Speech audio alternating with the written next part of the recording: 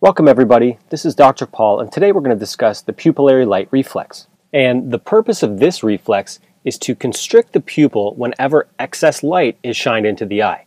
Okay, now the fibers that are going to mediate this constriction are parasympathetic fibers. So let's run through the exact pathway whereby we get constriction of the pupil. And it's very straightforward and it's something you definitely need to know for the exam. So step one, what happens is, here's our sun, and increase light. So let's say a patient's going to stand outside in a bright sunny day. So excess light hits the eye. Now, the first thing that happens is this sends a signal down the optic nerve, which we see here, all the way to the pretectal nucleus. Okay, in moving to the pretectal nucleus, it's going to bypass the lateral geniculate nucleus. Now, from the pretectal nucleus, we're going to get axons sent to both the right side and the left side Edinger-Westphal nuclei. Then from our Edinger-Westphal nuclei, we have the parasympathetic oculomotor nerve fibers.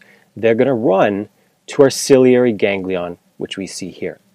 From our ciliary ganglion, we have short ciliary nerves that are then going to go and innervate the constrictor muscles of the iris. We call this the iris sphincter pupillae.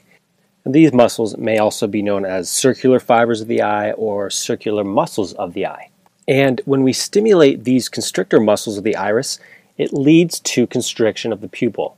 Okay, so the eyes adjust to the increase of light that we have in our environment. Now keep in mind, this entire process is a parasympathetic process. And on the other end of the spectrum, if we have a sympathetic process, that's going to lead to pupillary dilation.